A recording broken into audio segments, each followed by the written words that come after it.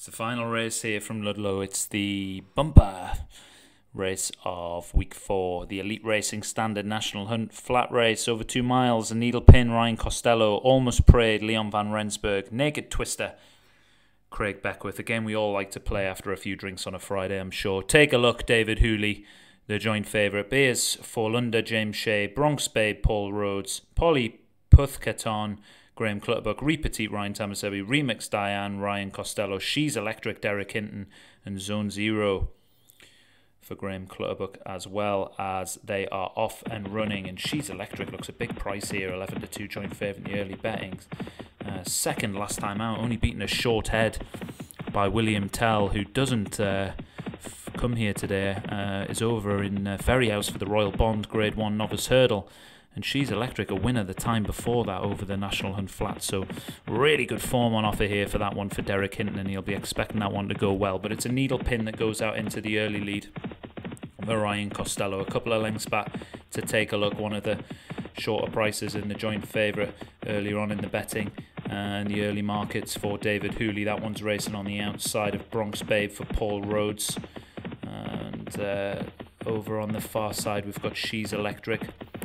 Polly Puthketon for Graham Clutterbuck and Zone Zero. So Graham's two horses racing side by side. And she's electric over uh, on furthest wide over towards the stands as they pass what will be the winning post in the circuit's time. And we're getting that view from the stands of these horses here in this National Hunt Flat race. So Needle Pin has an early lead of around four or five lengths plus to Bronx Babe, who's looking to provide Paul Rhodes with another winner here at Ludlow. Over on the towards the centre of the track, we've got Zone Zero Puff, Polly Puthcadon, really struggling with that one's name. So thanks for that one, Gray. And take a look back there in fifth in the all pur purple silks for David Hooley. Widest of all, we've got She's Electric. That one just being passed by Leon van Rensburg's runner. Almost prayed. I think that's one of the only ones the champion trainers sent over to Ludlow today. And Repetit over on the far side uh, towards the rail for Ryan Tamasebi. Remix Diane and uh, Beers fall under the back two at the moment as we're into the final mile and the needle pin still has a lead. Starting to be closed down now by Bronx Babe and Zone Zero. Polly Puthket on just in behind that one. She's electric, travelling really strong on the outside. The black horse for Derek Hinton.